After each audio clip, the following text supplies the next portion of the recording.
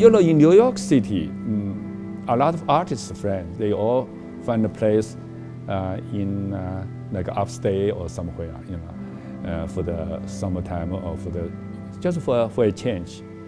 But I chose a little bit far.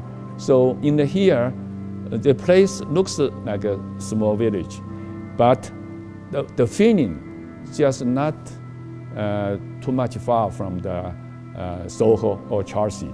I try to use just like a regular studio here uh, because uh, I paint very big paintings. My small collections, like uh, uh, some the small work, like as, as a prints, like Andy Warhol, Lichtenstein, or Oldenburg.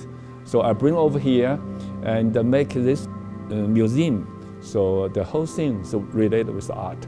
So that's why I like Dali very much. And the people come over, the visitors, and especially from the art school to visit the museum. You know, I'm very happy with this.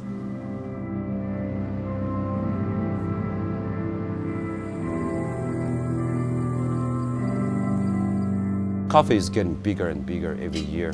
More and more Chinese people started drinking coffee more than before. And we also introduced to our friends, our friends introduced to their friends.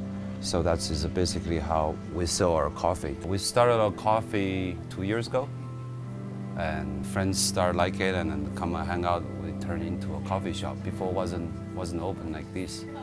Uh, I had a seven days holiday. I came here with a friend. The first day, we loved Dali immediately. And then after the holiday, I didn't go back. I stayed instead. The people came here, they feel free mind. Because free mind is for creation.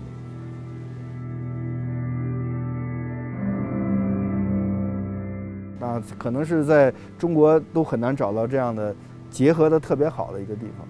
它跟中国其他地方不一样的地方，就是其他其他地方有很多。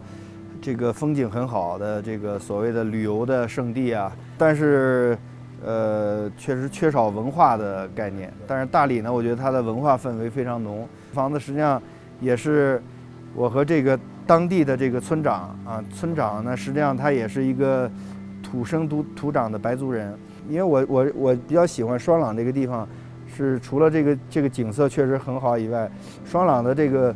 白族人的这个风俗习惯，我觉得特别有意思，而且它保持得很传统。呃，你你你通过吃饭，然后你就可以融到这个当地的农民的这种生活里边。